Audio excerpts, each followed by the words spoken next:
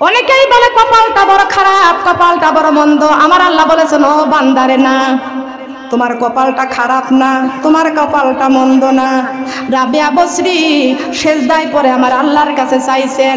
আমার আল্লাহ পাক রব্বুল আলমিন ডাক দিয়ে বলতেছেন, ও ফেরেশতা, আমার রাবিয়ার ঘরটা নূরের বাতি জ্বালাইয়া দাও। কিসের বাতি? মিনাজ জুলুমাতি ইলান নূর। মিনাজ জুলুমাতি। কোরআন আছে যেখানে আলো আছে। কোরআন নাই যেখানে অন্ধকার সেইখানে। আমরা আলো ভালোবাসি না, অন্ধকারকে ভালোবাসি। আলো ভালোবাসি না, অন্ধকারকে ভালোবাসি। রাবে আর মনি রাত তিনটের সময় ঘরের দরজা খুলে বের হয়েছে। খেয়াল করে শুনুন। রাবে আর মনিব, যেই মনিবের বারে গোলামি করতেন, এই মনিবটা রাত তিনটের সময় বের হয়ে গেছে। কানের মধ্যে শুনতে পাচ্ছে, রাবেয়া বশ্রীর ঘরের মধ্যে গুনগুন গুনগুন করে গল্প করতেছে। রাবেয়া বশ্রী গুনগুন করে কার সাথে কথা বলতেছে? কার সাথে? কথা বলেন কার সাথে? আমার আল্লাহ পাক রাব্বুল আলামিন আমার নবী মোহাম্মদ রাসূলুল্লাহ সাল্লাল্লাহু আলাইহি ওয়াসাল্লামকে বলেছেন, বন্ধুরে, আপনার উম্মতদেরকে বলে দেন, যদি আমি আল্লাহর সাথে কথা বলতে চাই, তারা যেন বেশি বেশি করে কোরআন তেলাওয়াত করে। কার কথা? আল্লাহ বলেছেন আমার রাসূলের কাছে। আমার রাসুল বলেছেন, উম্মতেরা গ তোমরা যদি আমি আল্লাহর সঙ্গে, আমার আল্লাহর সঙ্গে কথা বলতে চাও, তাহলে বেশি বেশি করে কোরআন তালাবাদ কর। আজকে মুসলমান হইয়া কোরআন তালাবাদ করি না, ঠিক কিনা বলেন? কথা বলেন ঠিক কিনা? আল্লাহ বলেছেন, আমি আল্লাহর সাথে কথা বলতে হলে বেশি বেশি করে কোরআন তালাবাদ করো। কোরআন তেলাওয়াত করা মানে আমি আল্লাহর সাথে কথা বলা আজকে মুসলমান কোরআন তালাবাদ করে না। মুসলমানদের এই কোরআনটা ঘরের তাকে থাকে। কোরআনের গায়ে ঝুলকালি লেগে যায়। কোরআনের গায়ে মাকড়াশাই বাসা বেঁধে আগে। টিভিটা প্রতিদিন তিনবার করে মশে তিনবার করে টিভি পরিষ্কার করে। আল্লাহর কোরআনের গায়ে সমস্ত ধুলাবালি, ময়লা জমে আছে। কোরআনটা তেলাবাত করে না। এই কোরআনটা আল্লাহর কাছে অভিশাপ করে বলে, আল্লাহ, এই যে ঘরের লোকেরা আমার তেলাবাত করে না যে ঘরের লোকেরা আমাকে সম্মান করে না, এরা টিভি দেখে কিন্তু আমি কোরআনকে সম্মান করে না।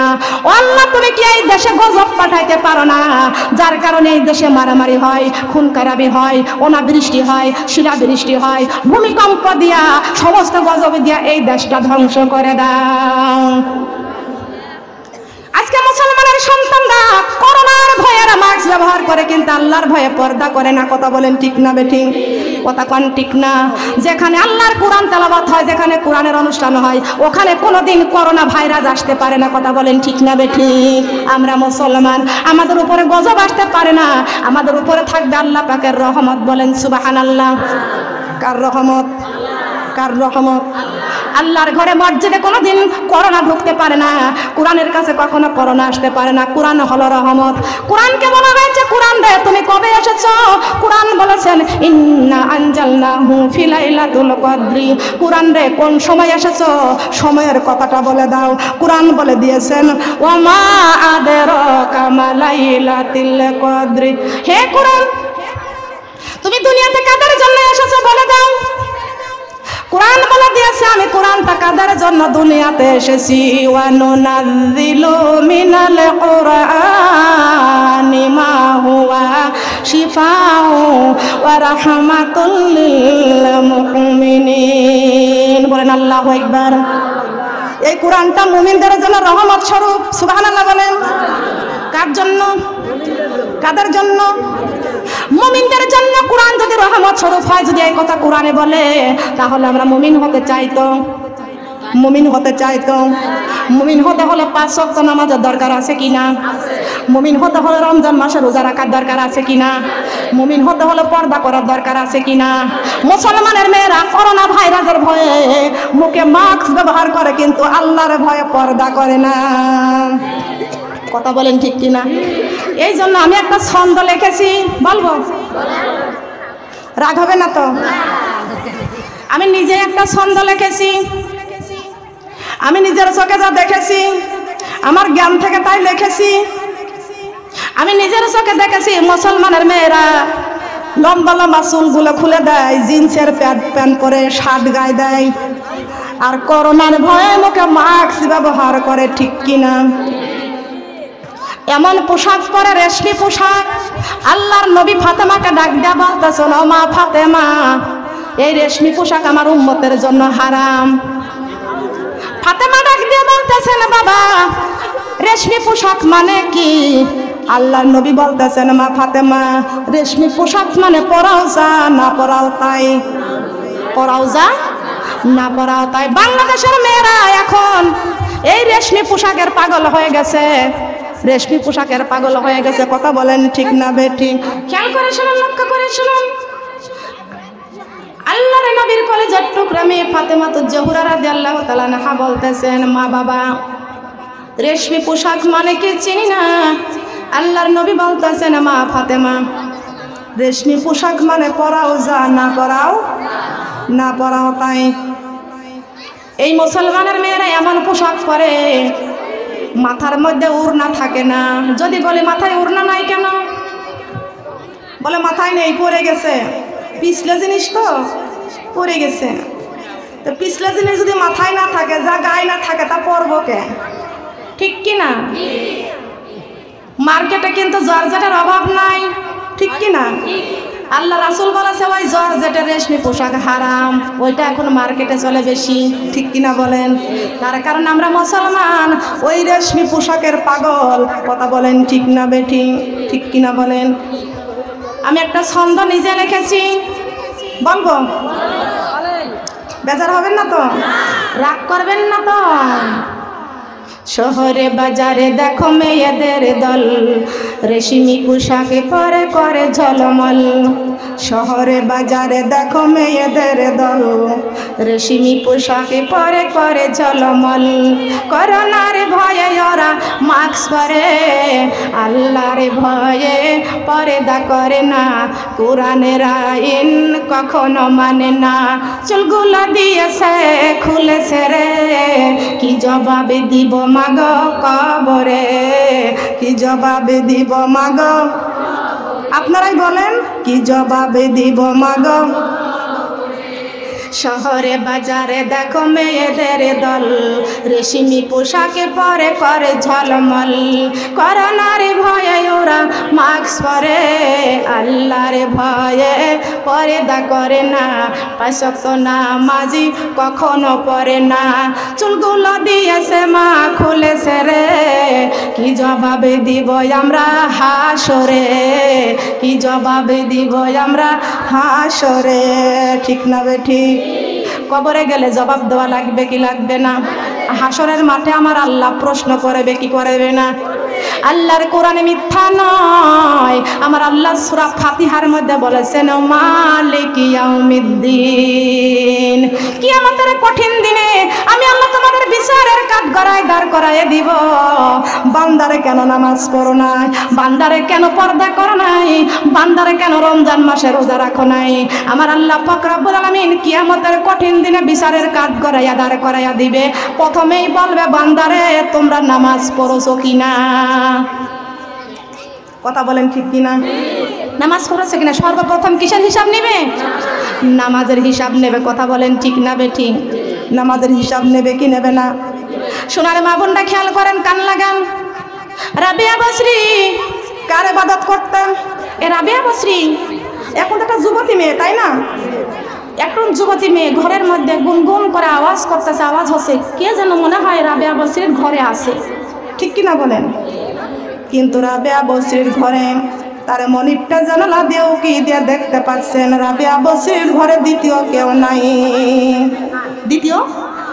কেউ নাই। রাবেয়া বসরির দিবার ঘরে দ্বিতীয় কেউ নাই। রাবেয়া বসরি শেষ দায় করে আমার আল্লাহর জিকির করতেছেন। আর রাবেয়া বসরির ঘরটা আলোকিত হয়ে আছেন বলেন সুবাহান আল্লাহ রাবেয়া বসরির ঘরটা আলোকিত হয়ে আছেন সুবাহান আল্লাহ আমলে হয় আউলিয়া বে আমলে হয় দেউলিয়া। আমরা কি আউলিয়া হতে চাই না দেউলিয়া হতে চাই? কি হতে চাই, মা বোনেরা? আউলিয়া। পাঁচ সপ্তাহ নামাজের দরকার আছে কি আছে না?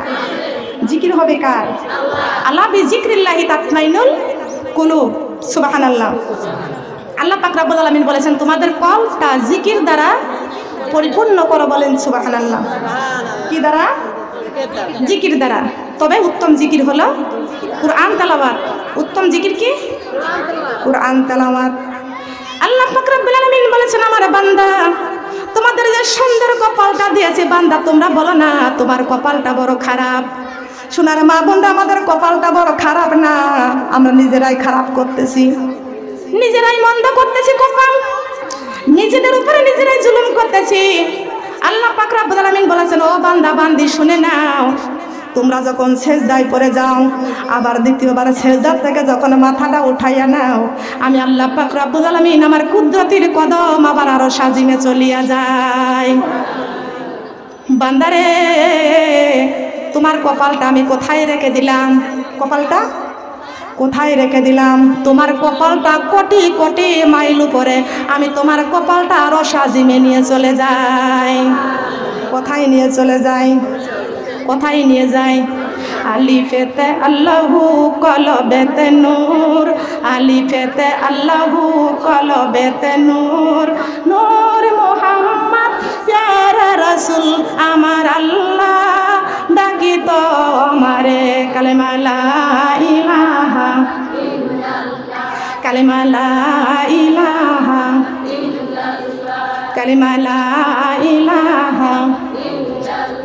জিকির করে কে রে বান্দা? জিকির করে কে?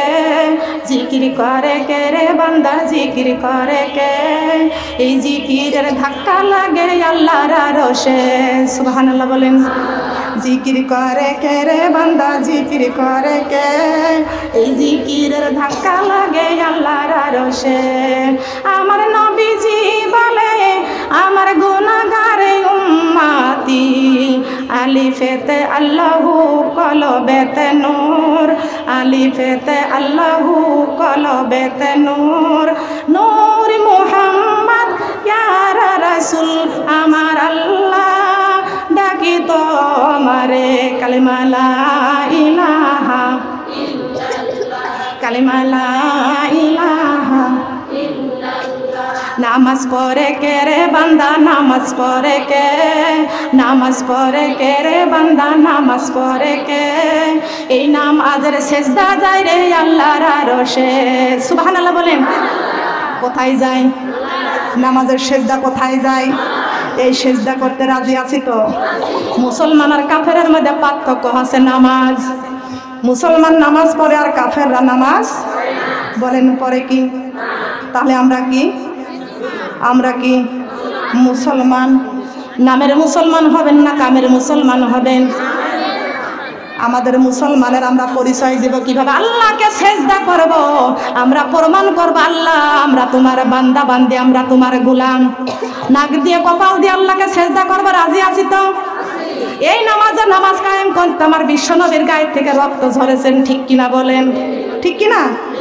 এই নামাজ কায়েম করতে আমার নবীজির গায়ের থেকে রক্ত ঝরেছে। এই নামাজ কায়েম করতে ইসলামের জন্য সুমাইয়ার আল্লাহ রাস্তায় জীবন দিয়েছেন, ঠিক কিনা?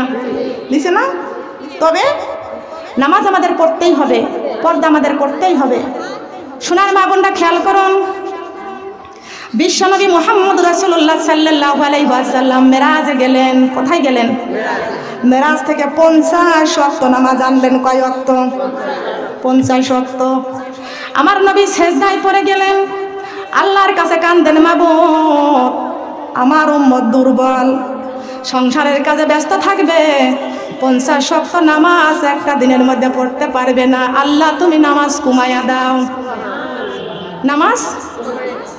আমার নবী ছেজদাই পরে কান দিয়া কান দিয়া পঁয়তাল্লিশ শক্ত নামাজ কুমাইয়া পাঁচ শক্ত নামাজ করেছেন। আমার নবী যখন মেরাজ থেকে ফিরলেন আল্লাহর পয়গম্বর মুসা আলাইহিস ডাক দিয়ে কয়, ইয়া রাসূলুল্লাহ, ইয়া হাবিবাল্লাহ, উম্মতের জন্য মেরাজ থেকে কি আনছেন? উম্মতের জন্য? মেরাজ থেকে কি আনছেন? আল্লাহর নবী বলেছেন আমার উম্মতের জন্য জান্নাতের তালা খোলার জন্য সবই সংগ্রহ করে আনছি। কি সংগ্রহ করে আনছে? কি সংগ্রহ করে আনছে? আরে নামাজ ছেড়ে আর চলো না। আরে কোরআন ছেড়ে আর চলো না, মানো মিজান পাল্লা। এসো সবাই কোরআন ধরি, যারা মানে আল্লাহ। এসো সবাই কোরআন ধরি, এসো সবাই কোরআন ধরি, যারা মানে আল্লাহ। এসো সবাই কোরআন ধরি। আল্লাহরি বান্দায় আমরা জমিন ও আল্লাহর, বলেন আল্লাহ আল্লাহরি বান্দায় আমরা জমিন ও আল্লাহর। এই জমিনে মানতে হবে শুধু আইন তার, আল্লাহরি বান্দায় আমরা জমিন ও আল্লাহর। এই জমিনে মানতে হবে শুধু আইন তার, করো সবাই তার বাদত করো সবাই তার বাদত দিয়ে সবাই পাল্লা। এসো সবাই নামাজ পড়ি, যারা মানি আল্লাহ, এসো সবাই। এসো সবাই নামাজে পড়ি। এসো সবাই নামাজে পড়ি। এসো সবাই নামাজে পড়ি। আল্লাহরি বান্দায় আমরা জমিন আল্লাহর বলেন, আল্লাহরি বান্দায় আমরা এই জমিনে মানতে হবে শুধু আইন তার। আল্লাহরি বান্দায় আমরা জমিন আল্লাহর। এই জমিনে মানতে হবে শুধু আইন তার। করো সবাই তার বাদত করো সবাই তার বাদত দিয়ে সবাই পাল্লা। এসো সবাই পর্দা করি যারা মানি আল্লাহ। এসো সবাই পর্দা করি এসো সবাই পর্দা করি সুবাহান আল্লাহ। বলেন। ঠিক না বে ঠিক? বলব কার কথা? আমরা উম্মত কার? রাসুলের উম্মত। বলব কার কথা? কার কথা? বিশ্ব নবীর অপমানে যদি কাঁদে না তোর মন, মুসলিমই নাই মোনাফিকি তুই রাসুলের দুশ্মন। ঠিক কিনা বলেন? বিশ্ব নবীর আগমন, বিশ্ব নবীর অপমানে যদি কাঁদে না তোমার মন, মুসলিম নয় মুনাফিকে, তুমি রাসুলের দুশ্মন। বিশ্ব নবীর ভালোবেসে বাড়াইব ইমান বিশ্ব নবীর ভালোবেসে বাড়াইব ইমান জাগো জাগো, বাংলার মুসলমান, জাগো জাগো, বাংলার মুসলমান, জাগো জাগো, বাংলার মুসলমান, জাগো জাগো। শোনো আল্লাহর বান্দা যারা শোনো নবীর উম্মতেরা শোনো আল্লাহর বান্দা যারা শোনো নবীর উম্মতেরা মরণ হলে মরব মরা সারব না কুরান মরণ হলে মরব মরা সারব না কুরান জাগো জাগো বাংলার মুসলমান জাগো জাগো বাংলার মুসলমান। সুবহানাল্লাহ বলেন। আমরা মরব কি নিয়া? কথা বলেন। কোরআন আমাদের জীবন। কোরআন আমাদের মরণ। যে জীবনে কোরআন নাই, ওই জীবনের কোনো দাম নাই। আছে নাকি? আছে নাকি?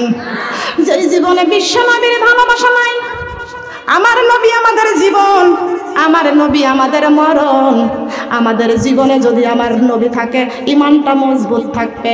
আমার মরণেও যদি আমার নবী থাকে, ইমানের সাথে মৃত্যুবরণ করতে পারব।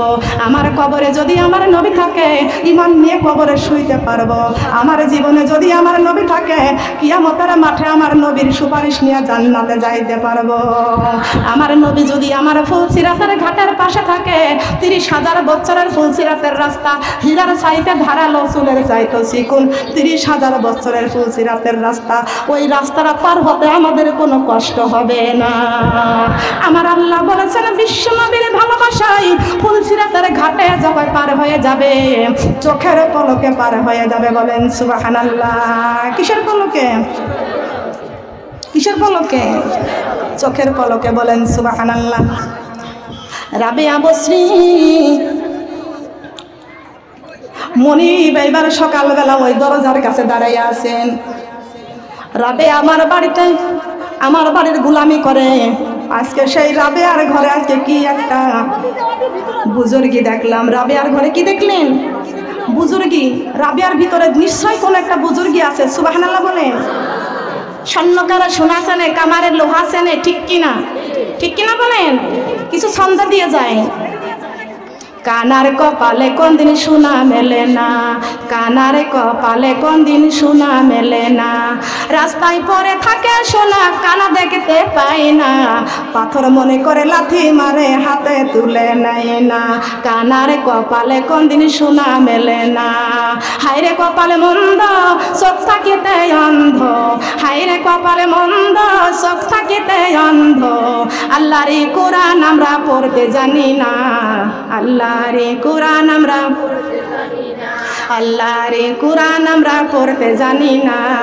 আল্লাহ রে কোরআন আমরা হাইরে কপালে মন্দ, চোখ থাকিতে অন্ধ। মুসলমান হইয়াই আমরা নামাজ পড়ি না। মুসলমান হইয়াই আমরা মুসলমান হইয়াই আমরা নামাজ পড়ি না। মুসলমান হইয়াই আমরা পর্দা করি না। ঠিক না বে ঠিক? খেয়াল করুন। কষ্ট পাইছেন? কষ্ট পাইছেন? লক্ষ্য করুন। একজনের বাড়িতে পাশাপাশি একটা বাড়ি, দুইজন গৃহস্থ। এক গৃহস্থের একটা ছাগল আর এক গৃহস্থের একটা গরু। এখন ছাগলের গৃহস্থ প্রতিদিন ছাগলটাকে ছেড়ে দেয়। আপনারা কি করেন? ছাগল কি সারা সময় বেঁধে রাখেন? নাকি ছেড়ে দেন? এখন গরু, গরুর গৃহস্থ তার গরুকে ছাড়ে না। তাই না? এখন গরুটাকে সারা সময় বেঁধে রাখে। দিনেও বান্দা, রাতেও বান্দা।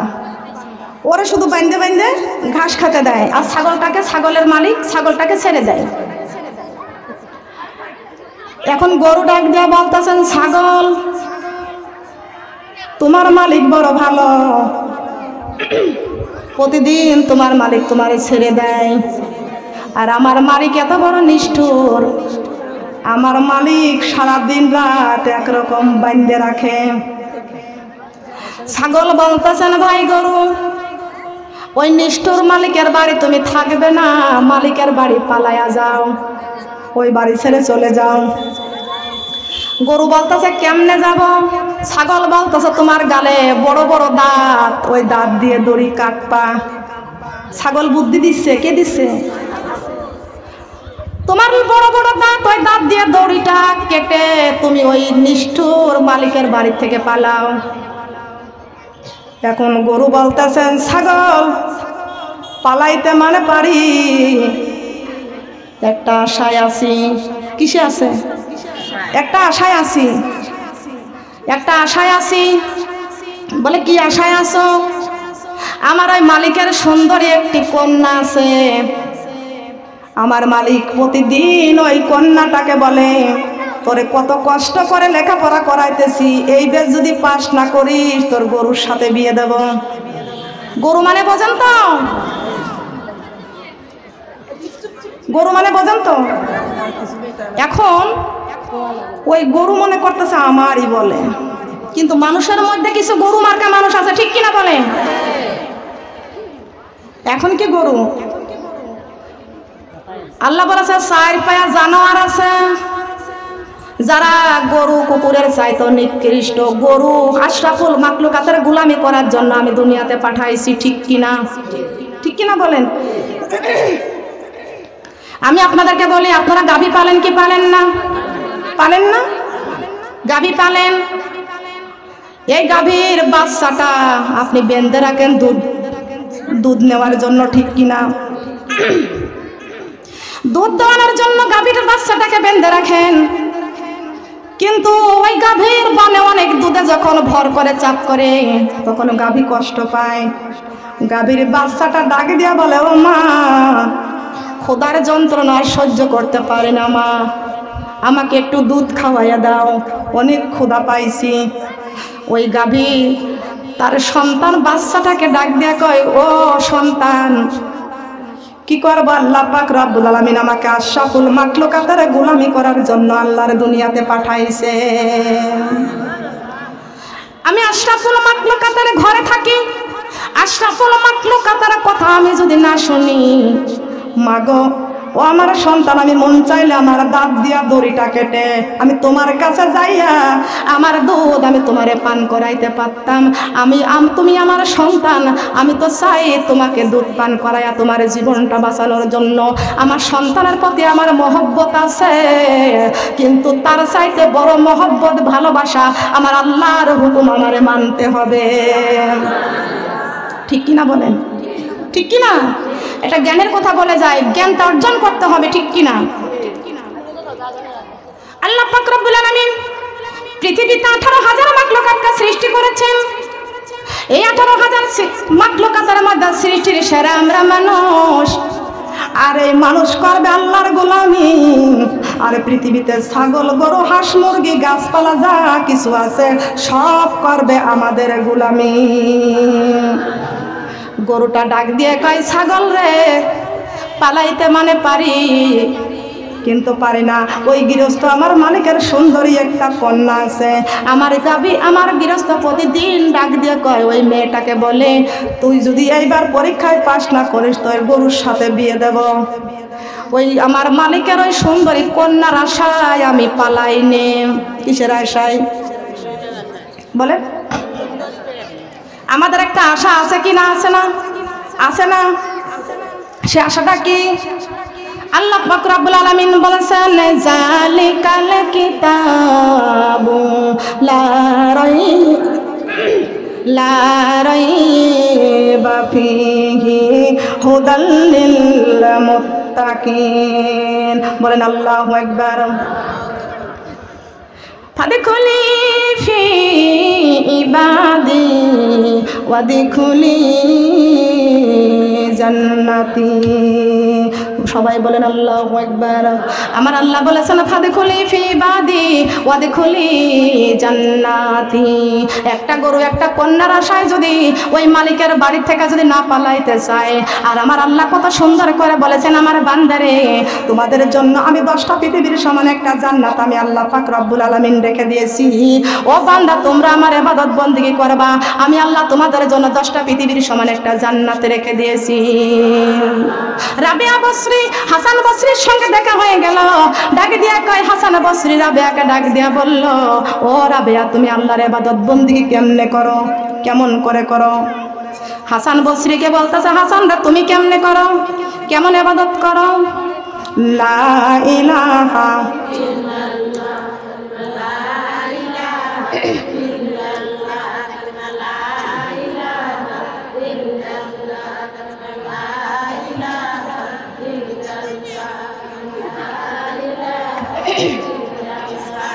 লা ইলাহা কালেমা লা ইলাহা। আমার হাসরে আল্লাহ, মিজানে আল্লাহ, শান্তির মালিক, তুমি আল্লাহ। লা ইলাহা। কালেমা লা ইলাহা। আসিমানের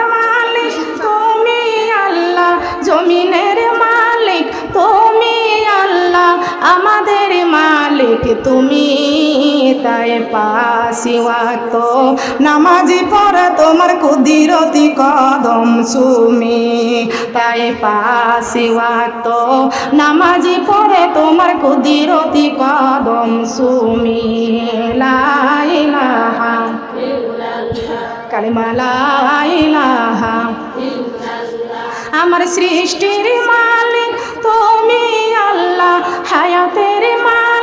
তুমি আল্লাহ, রিজিকের মালিক, তুমি তাই পাশি ওয়াক্ত। নামাজি পড়ে তোমার কুদিরতি কদম সুমি তাই পাশি ওয়াক্ত। নামাজি পড়ে তোমার কুদিরতি কদম সুমি লাইলাহা কালিমা লাইলাহা লাইলাহা ইল্লাল্লাহু মুহাম্মাদুর রাসূলুল্লাহ। সবাই বলি সাল্লাল্লাহু মা খেয়াল করে ওই হাসান হাসান ডাক কয়, হাসান।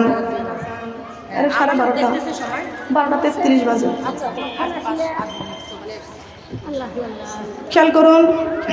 হাসান বসরিকে ডাক দেয়া বলতেছেন, হাসান, তুমি কেমন এবাদত আল্লাহর করো? হাসান বসরির সঙ্গে সঙ্গে হাত কেটে ফেললেন। সুবাহান আল্লাহ বলেন, কি কাটলেন? চাকু দিয়ে হাতটা কেটে ফেললেন।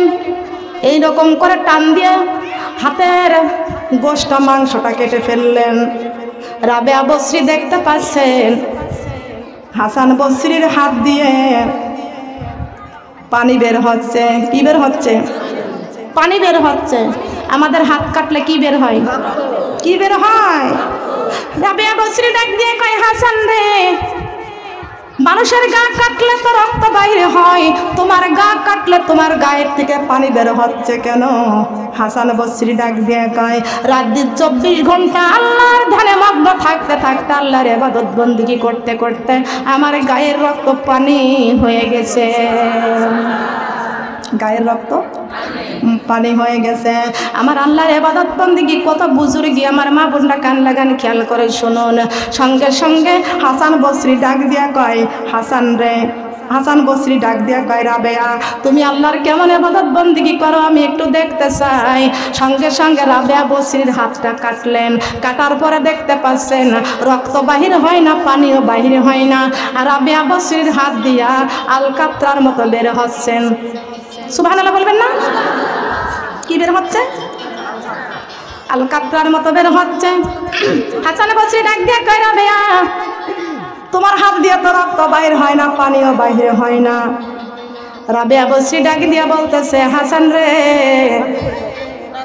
আমার আল্লাহর এবাদত বন্দিকে আমি করি রাত জেগে জেগে আল্লাহ পাক রব্বুল আলামিনের ইবাদত বন্দেগী আমি করি, কিন্তু আমার গায়ের রক্ত পানি হয়ে যাইয়া, আমার গায়ের রক্ত পানি হয়ে গেছে, সেই পানিটা শুকাইয়া আলকাত্রার মতো হয়ে গেছে, বলেন সুবহানাল্লাহ। পানি শুকায়ে পানিও শুকায়ে কি হয়ে গেছে? আলকাত্রা হয়ে গেছেন, সুবহানাল্লাহ বলেন। কি হয়েছে? আলকাতরা।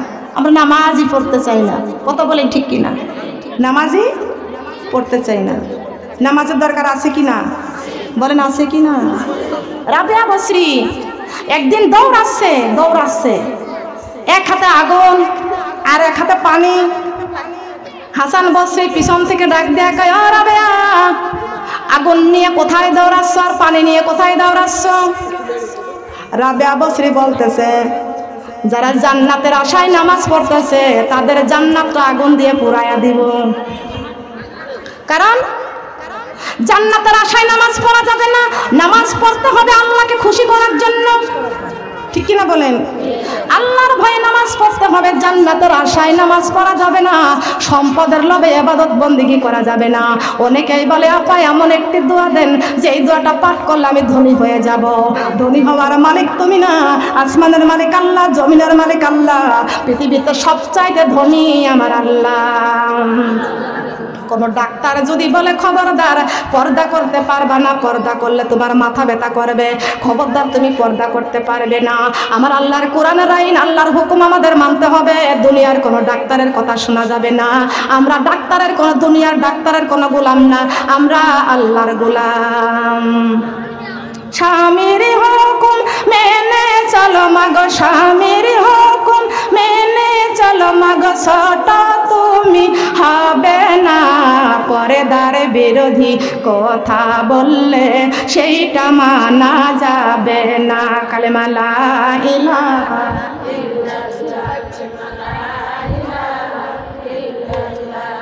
লা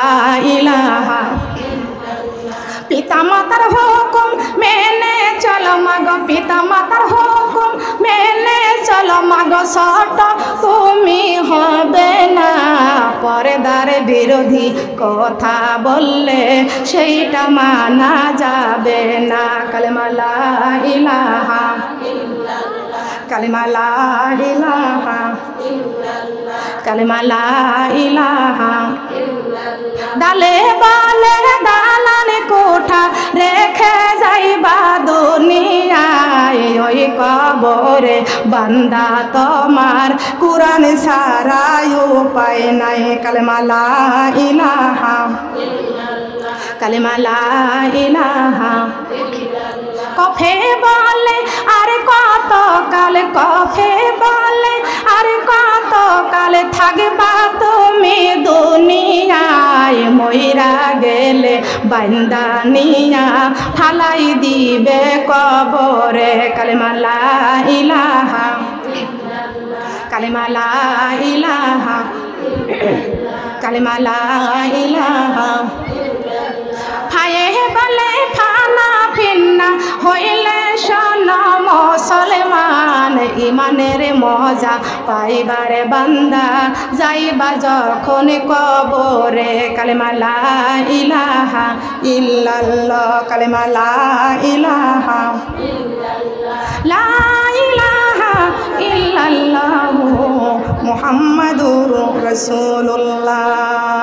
সবাই বলে সাল্লাল্লাহু আলাইহি ওয়াসাল্লাম।